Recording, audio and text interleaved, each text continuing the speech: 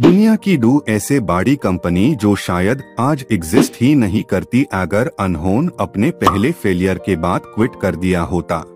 Number एक Apple Steve jobs को 1985 में कंपनी से निकला गया, उसके ट्यूरेंट बाद एप्पल का डाउनफॉल शुरू हो गया।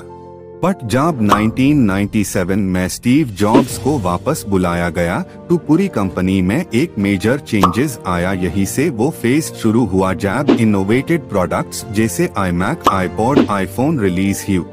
नंबर दो मार्वल एंटरटेनमेंट सो 1990 में मार्वल ऑलरेडी बैंक करप्ट से फेस कर रही थी।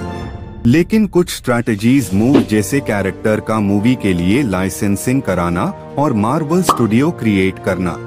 आज क्योरेंटली मार्वल की 13 मूवीज़ है, जो ओवर बिलियन डॉलर कमा चुकी है।